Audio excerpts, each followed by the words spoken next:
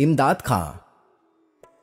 इमदाद खां का जन्म सन 1848 के लगभग हुआ। उनके पिता का नाम साहबदाद खां था। इमदाद खां दो भाई थे, स्वयं और करीम दा खां। इमदाद खां को पहले गायन की शिक्षा अपने पिता से प्राप्त हुई।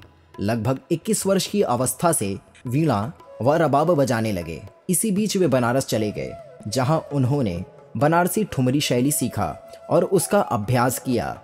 वहाँ जाकर सितार और सुरबहार बजाने लगे।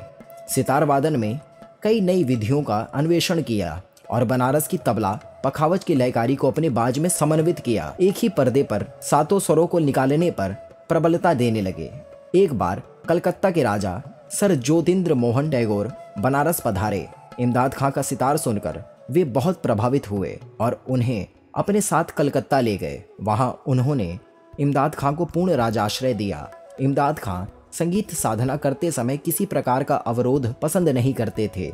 एक बार अभ्यास करते समय उनकी स्त्री की तबीयत इतनी खराब हो गई थी कि वे मर गईं। किंतु उन्होंने अपना अभ्यास समय के पूर्व बंद नहीं किया। इमदाद खां के दो पुत्र हुए, इनायत खां और वाहिद खां। इनायत खां के पुत्र उस्ताद विलायत खां थे, जिन्होंने सितार वादन में अपना एक विशिष्ट स्थान बना रखा था। बंगाली जनता इमदाद खां के सितार वादन से बड़ी प्रभावित थी। महाराजा टैगोर की मृत्यु के बाद इमदाद खां सपरिवार तारा प्रसाद घोष के यहाँ रहने लगे। कुछ दिनों बाद वे इंदौर रियासत में नियुक्त हो गए और जीवन पर्यंत वहीं रहे। इमदाद खां की मृत्यु बहत्तर वर्ष की अवस्था में सन 1920 में इंदौर में हुई।